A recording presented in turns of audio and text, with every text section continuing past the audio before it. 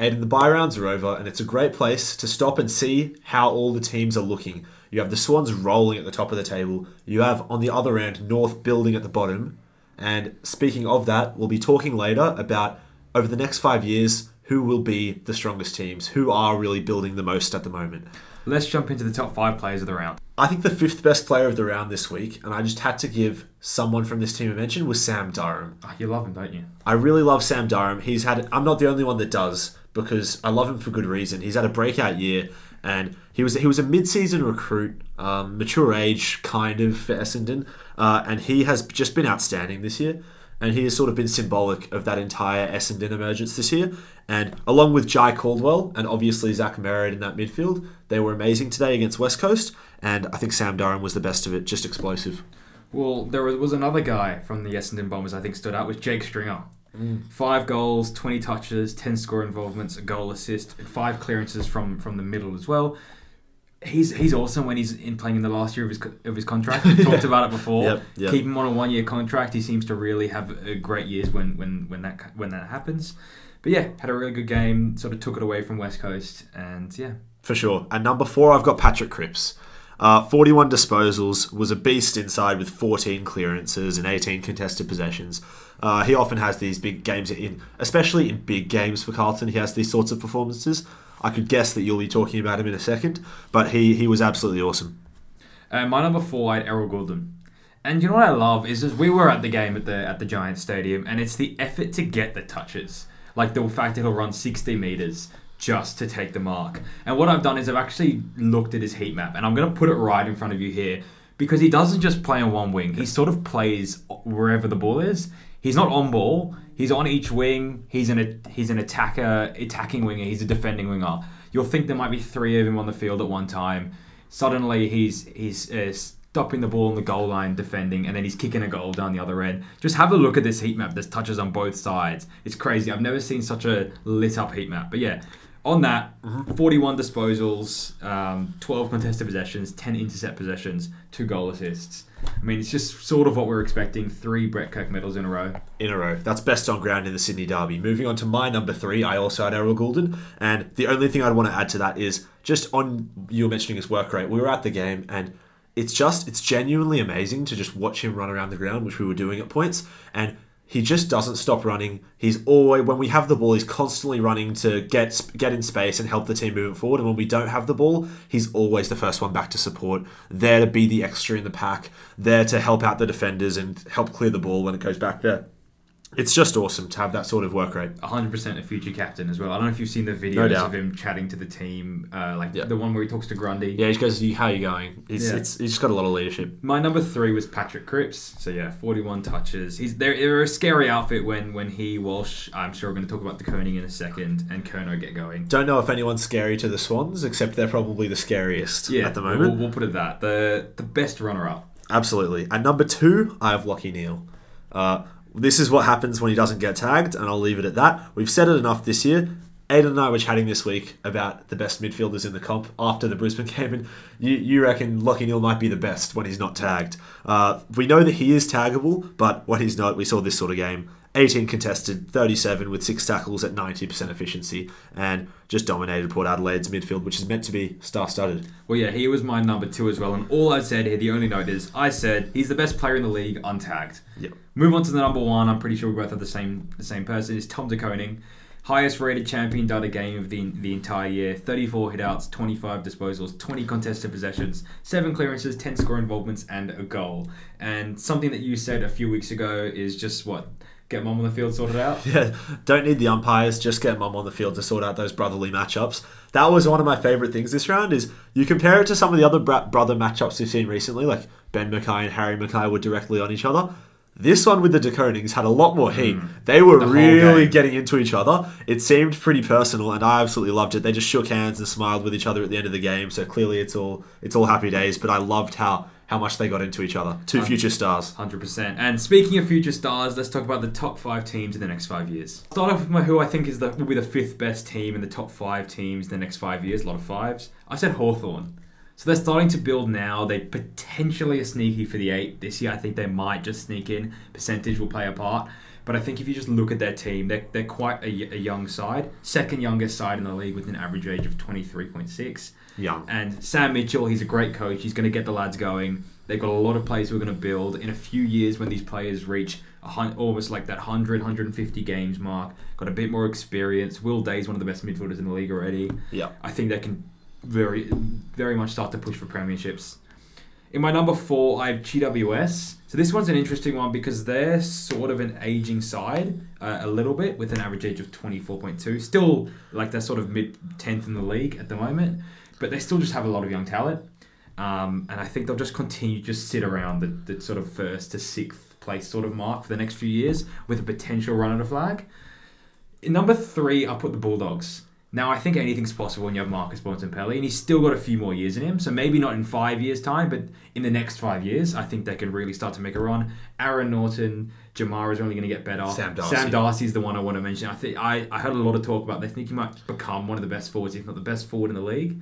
How he's playing now in the next few years. Yeah, we don't really see this sort of season out of a rookie tall forward. It usually takes them a lot of time to adjust. 100% to build into their body and what he's doing already it's, it's kind of it's really impressive I think if they can pin down a, a, a very like a good key back I think they'll be a force in the next few years number two I've got Carlton so yeah their their average age is slightly higher with 24.8 sixth uh, oldest in the league except they just got talent everywhere and Walsh is still young Cripps has got a few more years Curnow and McKay are going to be playing in the next five years I just don't see them falling off. Weitering obviously got he'll probably get a new contract at Carlton. He'll be there for the next five years.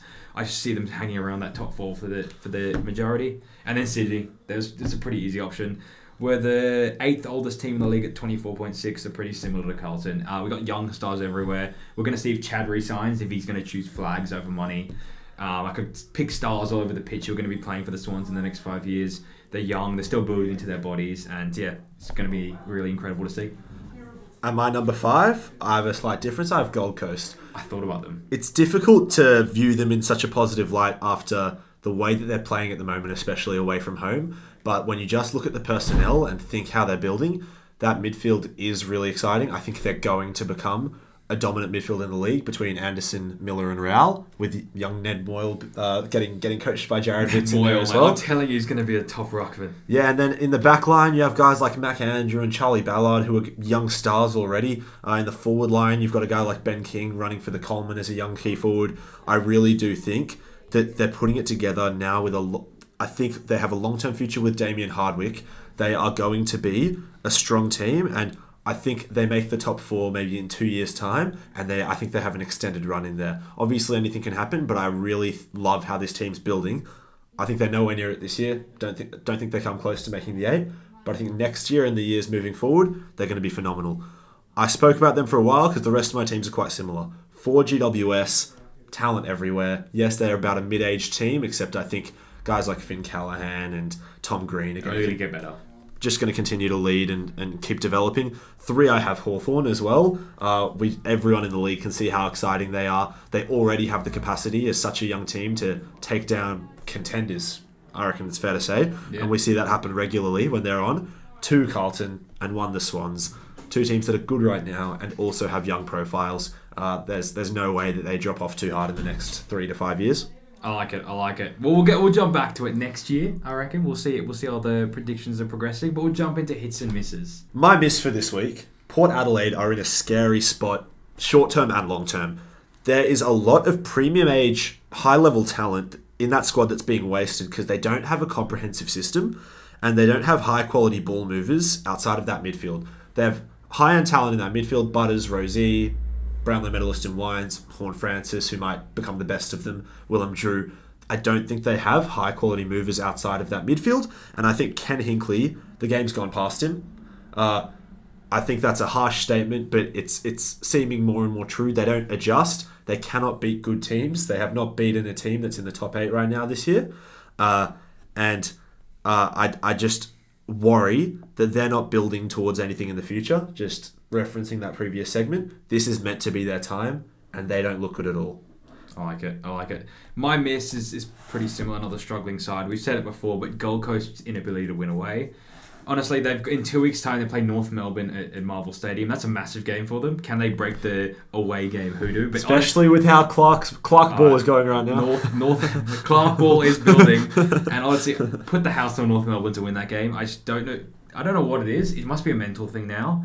But yeah, before the season they said the finals as a minimum, which came up from their board. I don't think they're going to hit that. They scored eighty percent of the premiership squad, which is probably true if Yep. they win a premiership in the next few years. But I just if they can't win games away, they can't exactly challenge for a premiership. Yep. My hit for this week, something we saw live. We went down to Western Sydney and watched uh, the the Sydney Derby. The Swans Army took over ENGIE Stadium. Uh, I do have to say, we were talking about this. The atmosphere at the stadium and the entertainment put on by the, the GWS people was awesome. Uh, every player has their own song when they score a goal. I loved Josh Kelly's GWS making a fourth quarter comeback. Josh Kelly snaps a goal and you get X gong, give it to you. It was very, very hype. we're getting into it. and it was it was really really good. Makes you root for players in a, in a different sort of way. They also had the siren, uh, the for the orange tsunami. The tsunami, tsunami siren. orange tsunami warning. It was it was Yeah. awesome. Uh, but it was a pretty much a Swans home crowd. My favorite Yeah. moment of the round. I mentioned one of my favorites earlier, but my favorite moment: Toby Greene, the the home ground captain, being booed in his own stadium by eighty percent of the crowd because it was just pretty much a home crowd. And I will say the biggest cheer of the entire game was when Toby Greene hit the post. Fourth quarter, Toby Greene hits the post. Yeah, hundred percent. My hit was the top eight competition for places. So there's six points between fifth place and thirteenth. There are some teams starting to peak in the Hawks, the Dogs, the Lions, and there is quite a few teams struggling for form in GWS, Geelong, Port Melbourne, and Gold Coast. But they're still alive, and any of these teams can make the top eight. And it's it, it's just like good from we're sitting at the top, but seeing a bit of competition below us for places. Yeah, it's just As so- a neutral. So you just sort of think as a Swans fan, how's the weather down there? It looks a bit volatile. It's, Okay. it's pretty calm up here, 25 and sunny. Let's move on to the footy pyramid. So the footy pyramid, not a lot of changes because most of the guys in my team had buys and I didn't think they deserved to be taken out. But yeah, there's no outs, there's no new wins. We'll start at the fifth tier. Walsh holds his spot. Max Gawn moves down a tier. Will Day holds his spot. Liberatore holds his spot, and Sicily holds their spot. Moving up to the fourth tier, Serong moves down a tier. Lachie Neale moves up a tier. Curnow holds a spot in the fourth tier, and Zach Merrett holds his spot in the fourth tier. To into the third tier, Nick Daicos holds his spot. Chad Warner, I believe, deserved to hold his spot. Got tagged and still get two goals and 20 disposals. And Paddy Cripps had a really good game. He moves up one one tier. In the second tier, nothing changes. Errol Gulden and Marcus Bontempelli, but the gap is closing to Heeney.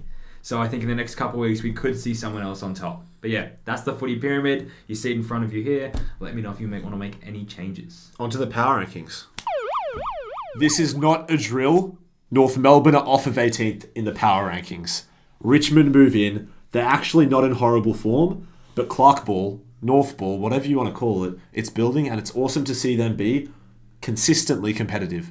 I think every AFL fan is starting is loving what they're seeing with North, and I just wish LDU didn't spoil um, Paul Curtis. Paul Curtis. Thank you.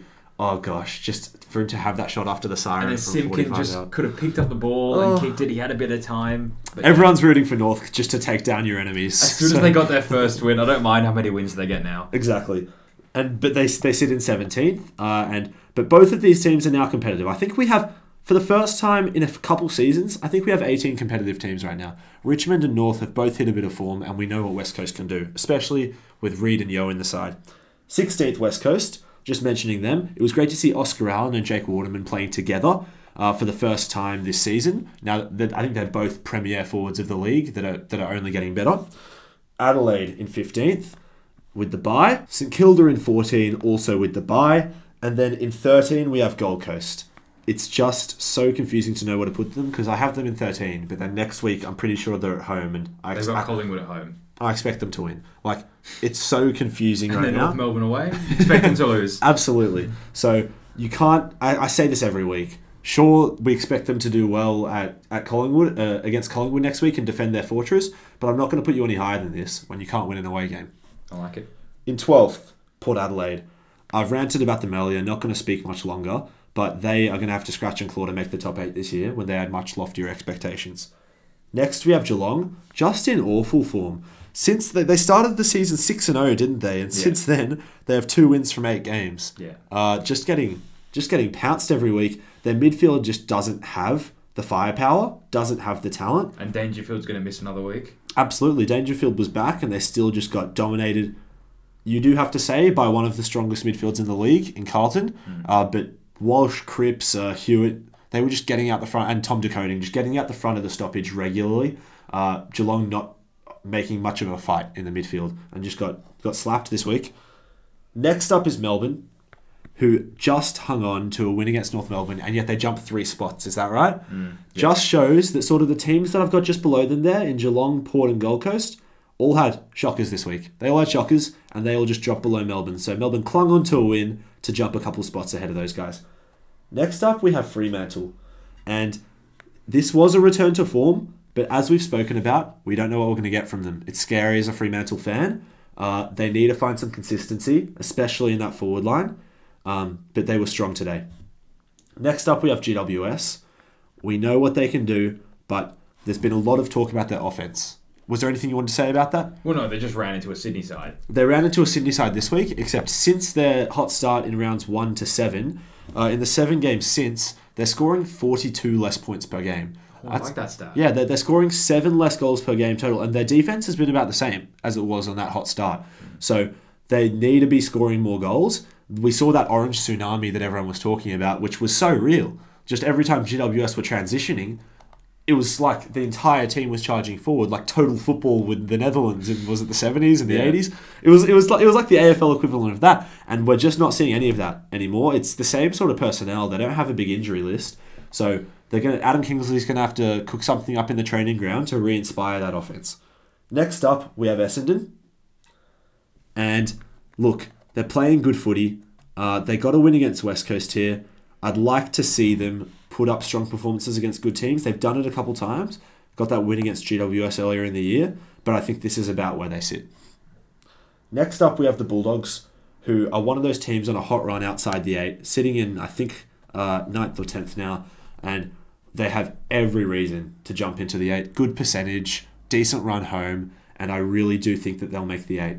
Um, they're looking good, and they look to have found some consistent football, scoring goals even with two of their best forwards are injured.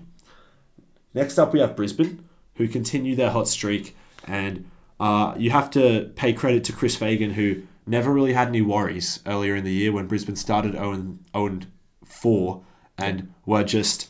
It, it was danger signs all over, but he said, hey, we know what we're doing. We know that we can fix these issues. This is not a personnel issue that we can't fix." And they look like a top four side. And they found a super forward in Hipwood. I don't know what happened there. He's they also found one in Kai Lohmann. he wasn't even half the player in the previous years, but yeah, awesome player. Seriously, he's, he's on fire, Eric. He cops a lot of flack from people like ourselves, uh, but he's proving it all wrong. In the top four of the power rankings, we have Collingwood, who uh, who sit there with a buy that was well timed. Uh, they, like Sydney, have a very nice buy fixture for this season. Really tough fixture next week, Gold Coast away. One of the toughest fixtures in the competition. yeah. Pretty much unwinnable. They should just rest all their good players, just cop the loss, and, and prepare for the next week. In third, we have Hawthorn. Uh, you just love that they continue continue to fly. Uh, a buy round this week, and they deserve to hold their spot. And then in two, Carlton continue to go dominate Geelong, and uh, I think separating themselves from the rest of the pack, Clearly the best second team. separating themselves from the rest of the pack as the contender. And then number one, Sydney Swans can't put a foot wrong. Uh, Andrew Gaze said on the start of Bounce this week, doesn't think they'll lose a game for the rest of the season. Uh, and, they, and they've got the ability now to rest players as well. But I mean, if you're if you're John Longmire, I don't think Heeney or Warner or what- will I'm just- allow I'm themselves just to be thinking rested. that now because Coaches I Association. reckon, I reckon he'll bring it up, right? Because they they have guys. Mills is going to come back. Parker's going to come back. They'll have the ability to rest the guys, and like they want to peak around September and finals. Yep. But they're not going to want to rest. I mean, if Gulden continues playing like this, he's going to storm home in the Brownlow. Yeah, absolutely. Uh, I don't think they will rest. I think they're too hungry. Yeah, for- that, for these that was my thought as well. You saw we were talk, we were talking about it during the game. The way that Chad was trying to burst through packs and kick goals from 50 in the fourth four, quarter. Four guys in front of him. He takes the ball and he just tries to take it on. Get I the think umpires to notice. Once the game was over, he may have been thinking about those end of season awards. hundred percent, Yeah. without so, a doubt. so I think it'll be tough for Longmire to convince those guys to take a risk. Longmire can't get the Gulden off the ground once in a game, let alone for a full game. So I don't think that's happening. Uh, so this is where the power rankings sit. I'm pretty happy with this. Let me know your thoughts in the comments below. And we'll see you on the next one.